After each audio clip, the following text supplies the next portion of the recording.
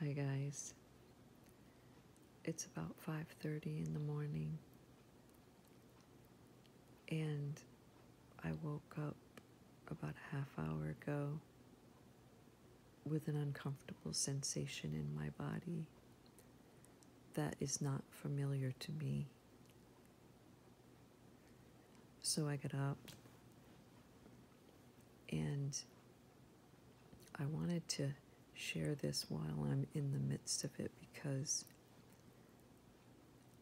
I recognized how instantly I went into anxiety, fight or flight mode, and I tried to observe myself from a distance or the sensations from a distance.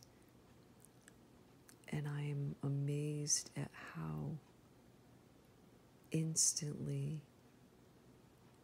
you can get that rush of adrenaline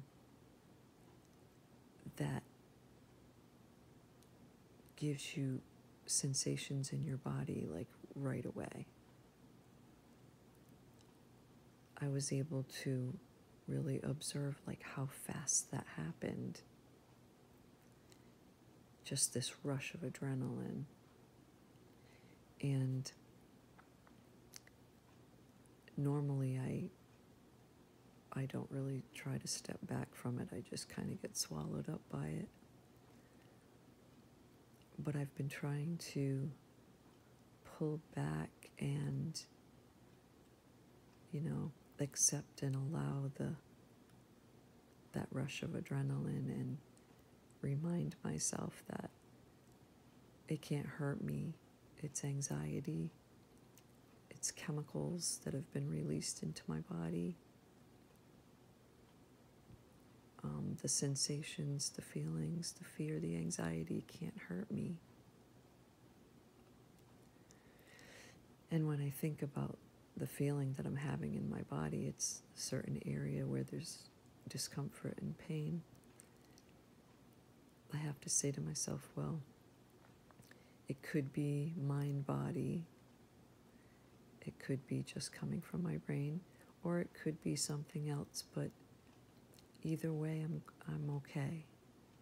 I'm safe. I know the Lord is with me. I'm feeling anxious right now as I'm talking to you guys. But I'm just trying to ride the wave of anxiety and trust the Lord. And we'll see if the sensation goes away. Um, but I'm trying to do the practices that, you know, from the DARE app, like um, I'm okay, I'm safe, ride it out, can't hurt me. If there's something going on other than just my brain, then I have to accept that too and, you know, get it checked out or whatever. But, um, yeah, anxiety is definitely not fun. It's a tormentor.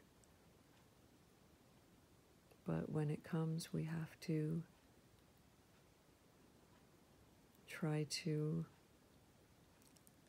um, do the things that we've learned and relax into it, let it flow, let it go. Breathe. and do the best we can.